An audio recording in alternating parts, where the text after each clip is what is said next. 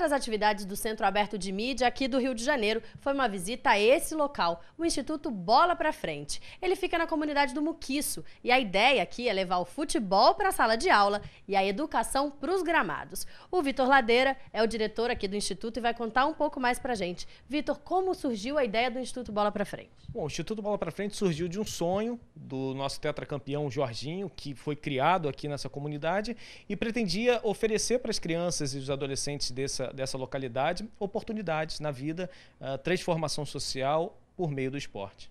E futebol aqui, na verdade, é uma linguagem, né? Por meio dele vocês trabalham disciplina, ajudam na escola. Exatamente. O futebol pra gente, ele vai além de uma prática esportiva somente e entra na sala de aula como uma linguagem através da qual nós pretendemos educar crianças. E os resultados disso são perceptíveis? Como as crianças chegam aqui e como elas saem?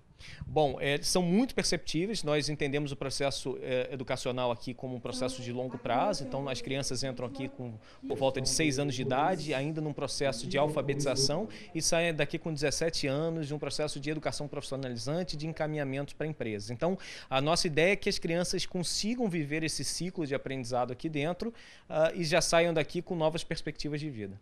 E, Vitor, a ideia é replicar essa, essa iniciativa do Bola para Frente, né? Você me falou que por meio de um, de um projeto da Lei de Incentivo ao Esporte, esse, essa metodologia vai ser replicada. Exatamente. A partir desse ano, nós já iniciamos o, o, o processo, já temos o valor captado.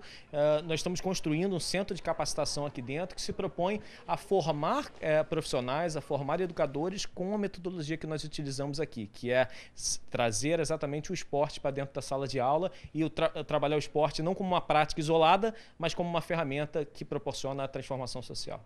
Vitor, muito obrigada pela sua entrevista. E desde que o Bola para Frente foi criado, no ano 2000, cerca de 15 mil crianças e adolescentes de 6 a 17 anos já passaram por aqui. Do Rio de Janeiro, Thaisa Dias, na Copa das Copas.